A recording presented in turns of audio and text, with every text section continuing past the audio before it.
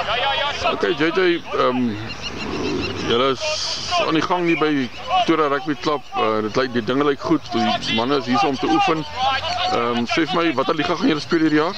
Ons gaan in die Carlton B liga speel hierdie jaar.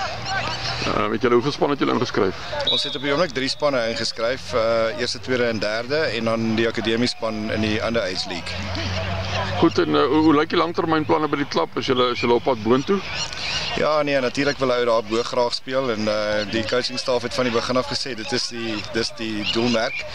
Uh hierdie jaar wil ons net onsself weer goed aan die gang kry en en goed doen in die B-liga en, en hopelik om wen aan die einde van die seisoen.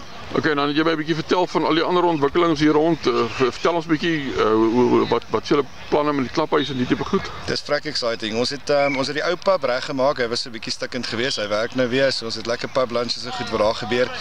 En dan het ons uh, aan die ander kant waar die lapa was, het ons hom nou gesloop en ons bou 'n splinter nuwe uh, daar wat so 200 mense gaan sit. So ons kyk bietjie na kommersieel geld inkry en so aan so baie events, ehm baie company tipe van funksies en so wat ons na kyk en um, ons word redelik nogal ondersteun. Redelike goeie besprekings al van so 3 maande af.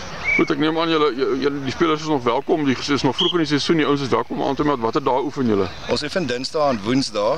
Ehm um, ons het 'n unieke situasie waar daar van ons akademie coaches in die eerste span speel. So dit maak dit so klein bietjie moeilik om uh, om Dinsdae en Donderdae te oefen, maar ons het dit ons het aangepas. So Dinsdae en Woensdae enigiemand is welkom. Watter tyd?